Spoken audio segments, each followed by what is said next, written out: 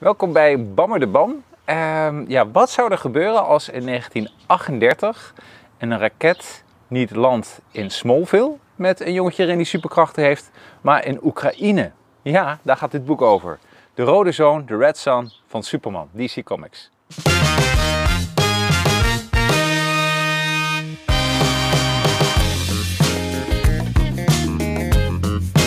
Bammer de bam.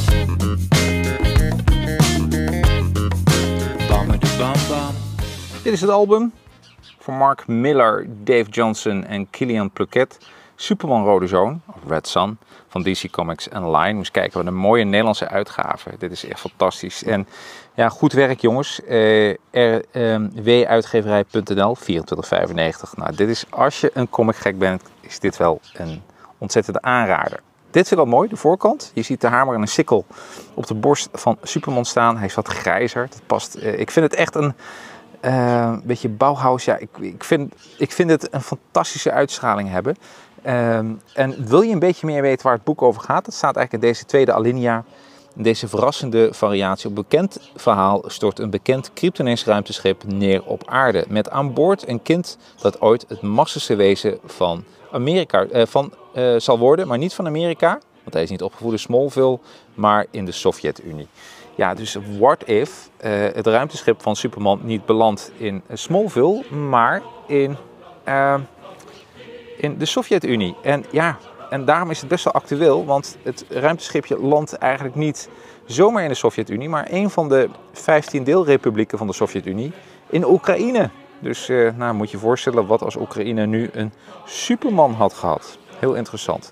Oké, kijken we even waar het eigenlijk begint. Ehm, je ziet hier de United States. Dit speelt zich allemaal af in de, in de tijd van, eh, van, eh, eh, ehm, ja, van wat is het, eh 50, 60 jaren. Hier zie je Superman staan met zijn vlag naast Stalin. Hier zie je Lois. En dit is geen Lois Lane, maar Lois Luthor. Want ze is getrouwd met eh, Lex Luthor. En hier zie je Barry White. Dus ja, heel veel dingen in, dat gaan gewoon door natuurlijk in het Amerikaanse leven. De grap is dat de switch van Lex Luthor in deze comic ook wel een eh, shift heeft ondergaan. Want hij is een, een, een ja, hele intelligente persoon. Maar ehm, hij is toch wel een beetje de good guy van het verhaal. Wat je misschien niet zou verwachten. Maar ehm, ja, hij wil de wereld toch wel behoeden voor een, een, een soort superwezen die eigenlijk aan een kant van de maatschappij staat of van de wereld staat wat ja, de Amerikanen niet zo heel fijn vinden.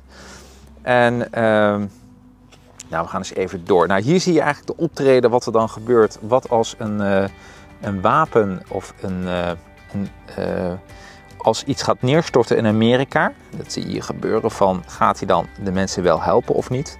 En hier zie je al iedereen al omhoog kijken in Smallville. En hij besluit die personen dan toch te helpen. En heel mooi, de Daily Planet wordt net even voorkomen. Ja, het wordt voorkomen dat die bal neerstort en, en heel veel mensen doodgaan. Dus dit is ook wel van dat eigenlijk Superman en eigenlijk het is een mooi, mooie visual dat- Superman toch wel de held is van de wereld. En zo ziet hij zich ook heel erg graag. En hier hebben Lois Lane, of Lois eh, Luthor en Superman even oogcontact. Ja, in een ander universum eh, hadden ze wat met elkaar gehad. En de aantrekkingskracht is er nog steeds. Maar hij vliegt weer verder en hij vaart zijn eigen koers daarmee. Ehm, nou, je ziet dat Stalin ook weer wat, eh, wat, eh, wat ouder is geworden. En je ziet ook, dit is een heel mooie spread, dat er een Superman-dag georganiseerd wordt in de Sovjet-Unie. Maar dat eh, Superman er zelf niet bij is, maar ehm, ja, meer ehm, eh, gewoon zijn tijd besteedt om andere mensen te redden. Wonder Woman zie je ook even terugkomen. Die heeft ook even de kant gekozen voor, eh, voor de Sovjet-Unie. Ja, omdat het eigenlijk twee handen op één buik is. Hè? Wonder Woman en, eh, en eh, Superman. Ehm, hier zie je Superman opeens praten met eh, een, soort, eh, een, ja, een soort zoon, halfzoon denk ik, van Stalin. Eh, en ja, die drink die is niet echt heel vriendelijk voor Superman. Ook fijn is dat, of leuk om te weten, is dat Superman in de Sovjet-Unie ook geen alter ego heeft als Clark Kent. Nee, hij is gewoon Superman. Dus dat is ook wel opmerkelijk. Ehm, en hij is een beetje boos, of hij is een beetje verdrietig, want hij heeft de vader en moeder moeten vermoorden van deze jonge gast. Want die hielden zich niet aan de Sovjetregels. En eh, nou ja, misschien kom je bekend voor dat iemand eh, zijn ouders vermoord wordt en een beetje de kleur daaromheen. En hier zie je al wat er gaat gebeuren met deze jongeman. Want ja, Batman is een Batman uit de Sovjet-Unie. en eh, die komt na de hand ook weer terug in dit verhaal. Ja, je deze film nu aan het kijken en je denkt van wauw en je bent nog niet geabonneerd, abonneer je dan even. Druk op het belletje en op de like, want als je op de like toets eh, klikt, eh, dan, ja, dan komen we voorbij op meerdere tijdlijnen. Dat is altijd goed voor het algoritme van onze vriend YouTube. We gaan weer snel door met de review van de rode zoon, de Red Son van Superman.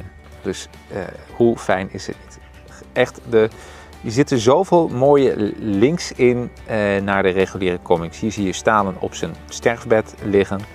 Hij is vergiftigd tijdens een etentje. En eh, hier zie je eigenlijk al een beetje wat er gebeurt. Is dat er een anti-super, een US, hier wordt eh, een Superman eigenlijk gemaakt vanuit het DNA van Superman, die Flex Luthor weet te behandigen. En, eh, eh, en die hebben dan natuurlijk ook een gevecht met elkaar. Ik ga het verhaal niet helemaal eh, eh, eh, met jou doorlezen en bekijken, maar het is natuurlijk wel een verhaal dat je denkt van wauw, wat als. Dit is trouwens ook wel zo'n keerpunt. Hier staan er eigenlijk allemaal mensen eigenlijk in de rij om voedsel te krijgen. Hij ziet zijn oude schoolgenote Lana, hij zit geen Lana Lang, maar hij heeft een Russische achternaam. En ehm, ja, Stalin vroeg hem de hele tijd om leider te worden van eh, de Sovjet-Unie, wat hij steeds heeft geweigerd. Maar nu ziet hij zoveel arme mensen in een rij staan dat dit zijn turning point is. Dat hij zegt van, eh ja, hij ziet hem heldhaftig naar boven kijken. En zij zeggen, het geeft niet Superman, het is niet jouw schuld, zo werkt het systeem. Je kunt niet van iedereen de problemen oplossen. En Superman zegt, eigenlijk kan ik dat wel. Ik kan van iedereen de problemen oplossen als ik dit land ga leiden. En eerder gezegd zie ik geen reden waarom niet. En dan ja, wordt hij de leider eigenlijk van de Sovjet-Unie, oftewel van de wereld. Naast Lenin en na- naast Stalin.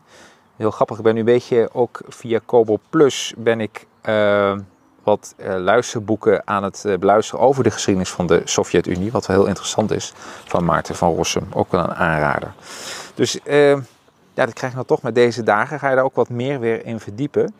Brainiac speelt een enorme groot eh, eh, rol in dit hele verhaal. Eh, en ondertussen probeert ja, Lex Luthor allerlei wezens uit op Superman om hem uit te schakelen, wat gewoon steeds niet lukt. Je ziet hier de Russische Batman ook terugkomen. Ja, ik ga dan. ik- Ja, het is altijd een beetje de, de trick om niet te veel spoilers weg te geven. Maar het is natuurlijk wel een boek met, eh, met veel verwijzingen. En Batman is ook de good guy. Ik vraag me ook af, is er ooit een universum geweest, een verhaal waarin Batman de bad guy was? En een, met een D. Ehm, ik ken hem zo niet, misschien ken jij. Maar eh, ja, dat geeft er wel heel erg aan. En dit is in zijn eigen Batcave in de Sovjet-Unie.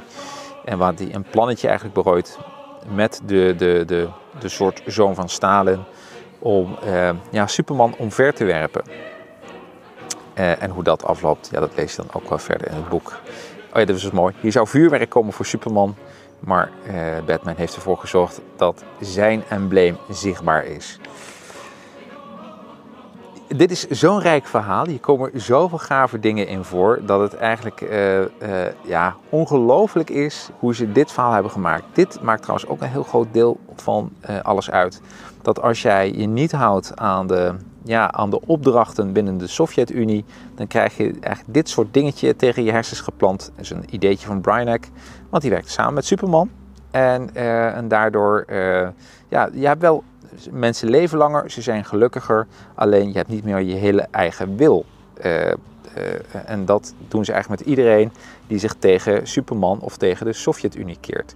Op dit moment eh, is volgens mij twee landen waar we de, eh, Amerika er één van is die zich ja, tegen eh, die dit regime niet hebben overgenomen. Eh, en Superman zie je hier opeens wat ouder.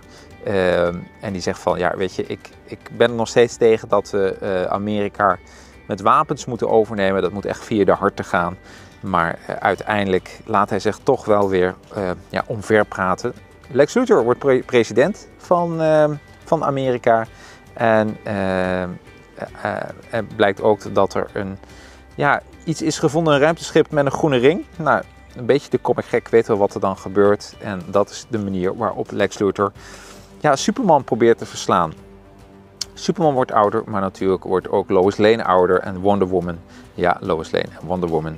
En eh, ja, die hebben toch hun twijfels van wat er eigenlijk allemaal gebeurt in dit hele regime.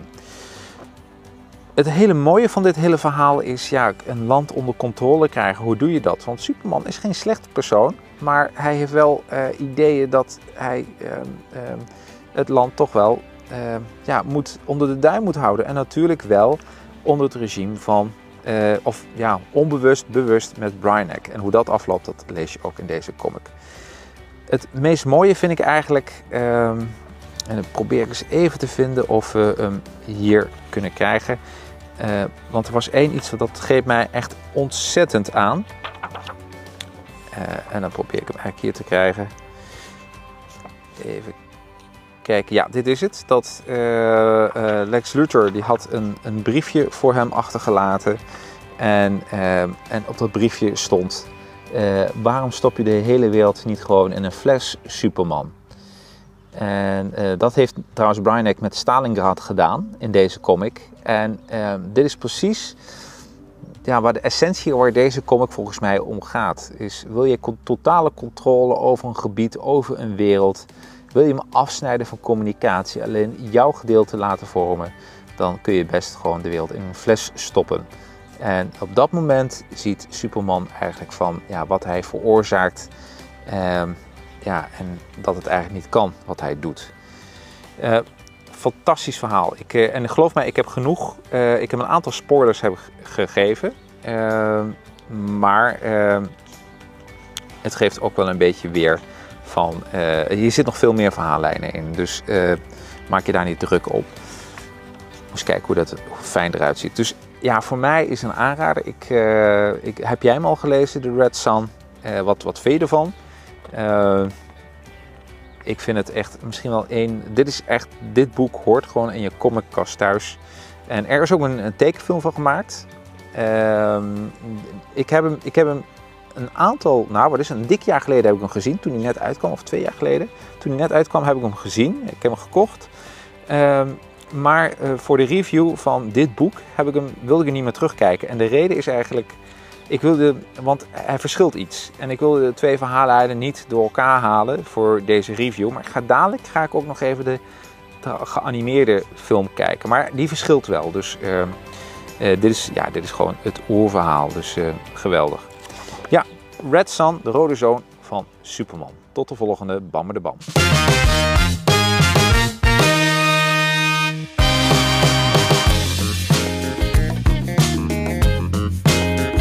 Bum bum.